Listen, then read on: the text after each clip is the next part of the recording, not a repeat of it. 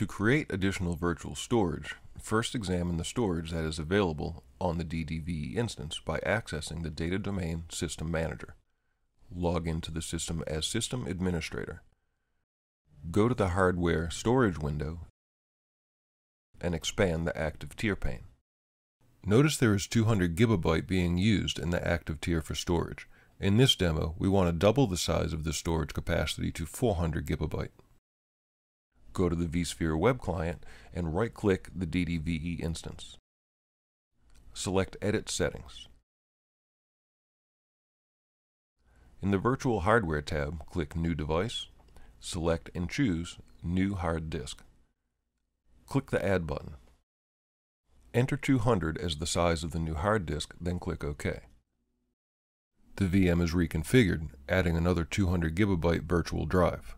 Return to the DD System Manager and click Configure Storage. Notice that the new device, Dev4, is now available in the Addable Devices. Select Dev4 and then click Add to Tier. Click OK.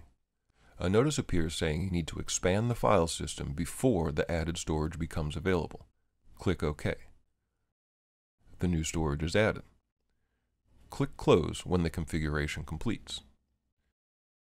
Navigate to Data Management File System.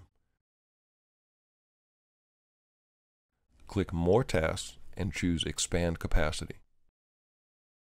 Click Next.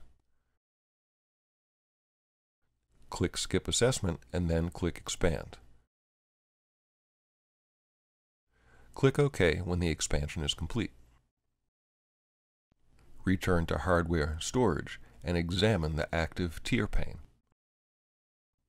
Notice that the size of DG0 has increased by 200 gigabyte, the amount that we added to the active tier. With that, your storage has been added and is expanded for use in your system.